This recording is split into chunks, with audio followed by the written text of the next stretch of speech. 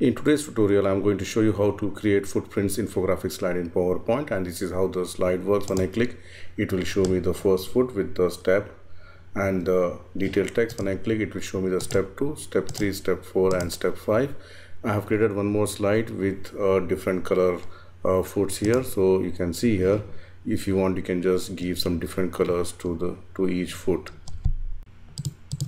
Please share, like and subscribe my channel and the only channel on YouTube for PowerPoint where you can get 1000 plus free templates absolutely free.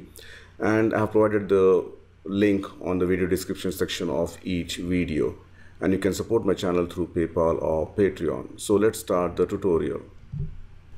Add a new slide and change the slide background to any gray color background. Then go to insert, click on the icons. In the icons, I'm going to type the word the foot so let me just search it here.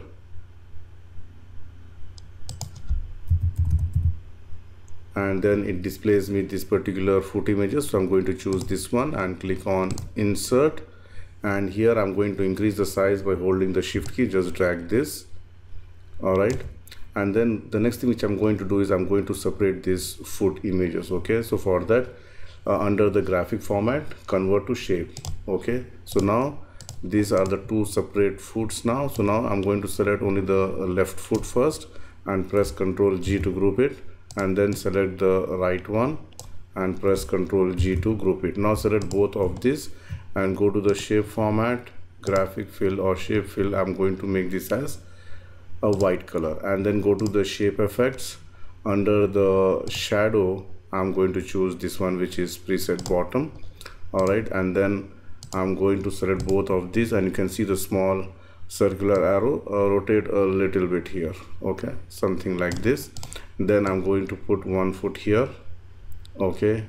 And then the second one will come here as if we are putting uh, the steps. So now select both of these press ctrl D to duplicate. And then move it here one more time. And then one more last I'm just going to put it here all right so again if you want to arrange it properly you can just arrange it.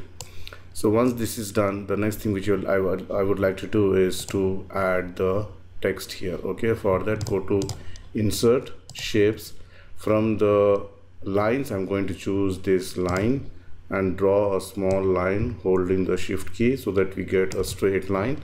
Shape outline I'm going to make this as white and I would like to increase the width of this one. For that right mouse click go to the format shape and under the line you can see the width. I'm going to increase the width here alright and then I'm going to make the end arrow type as the oval shape here okay? So it looks something like this.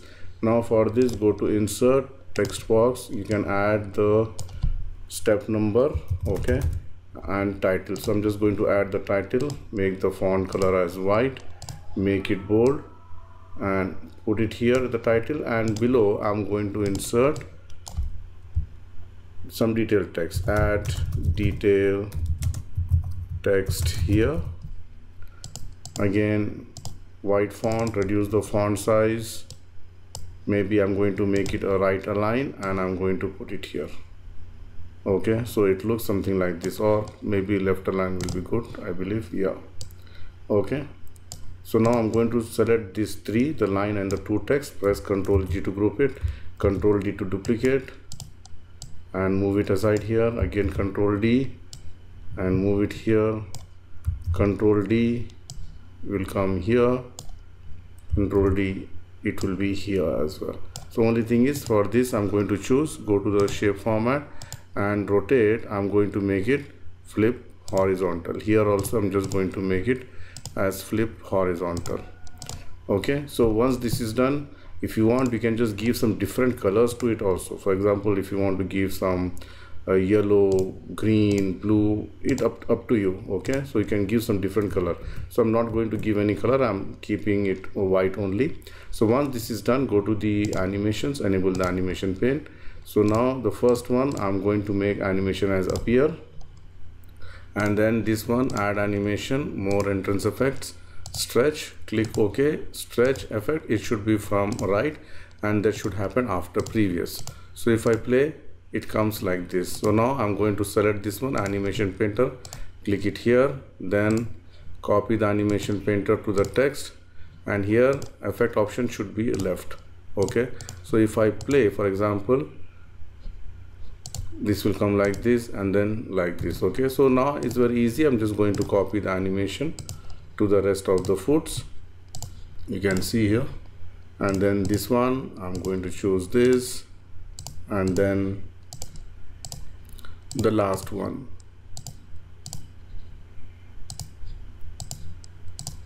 So now let me just play. So the first foot the second third fourth and fifth if you want to change some animation effects to your own matching or your own requirements also you can do that